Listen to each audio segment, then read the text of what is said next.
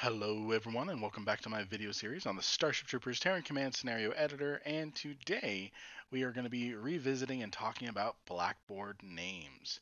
So Blackboard names is a very interesting tool where you can add in a system name that you can reference in different triggers.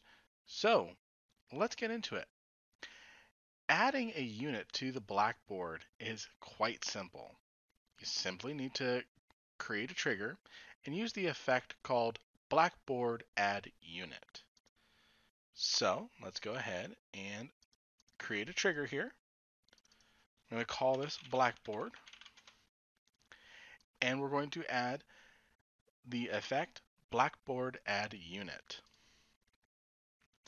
Now, the first thing that we're going to do to, is we're going to show how to add a Blackboard name to an existing unit.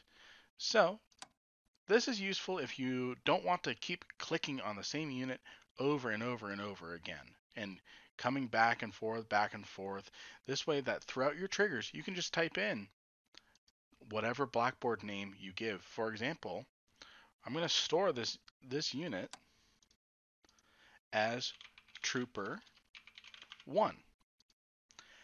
So now anytime I go in, I don't I can be all the way down here on the other end of the map and I can create another trigger and I can do a condition trooper 1 in this blackboard name box and create a trigger that when trooper 1 is over here do something.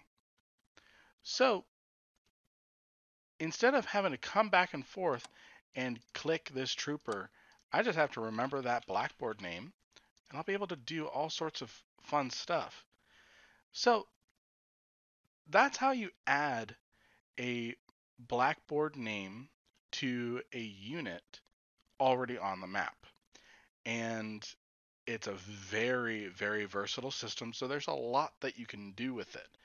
So one thing that is even more useful with this is when you have a unit that doesn't exist on the map yet, but you want triggers to happen.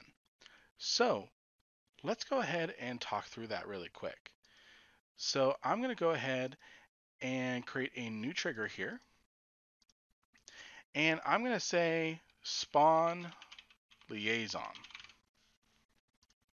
So I'm going to go into spawn unit I'm going to spawn a liaison.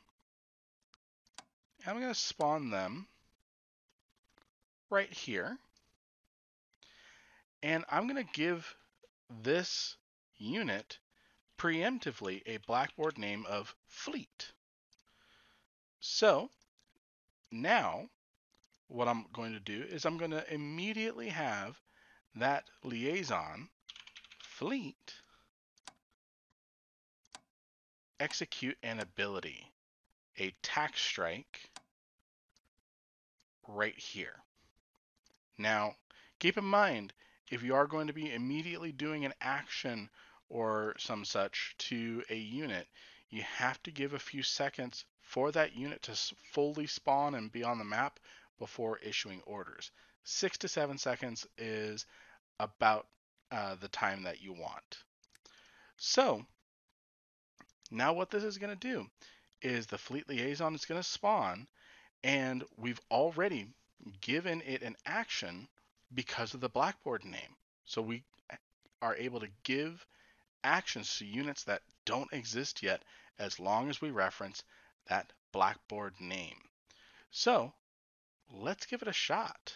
So we have here our liaison spawning. And then immediately our liaison drop their ability.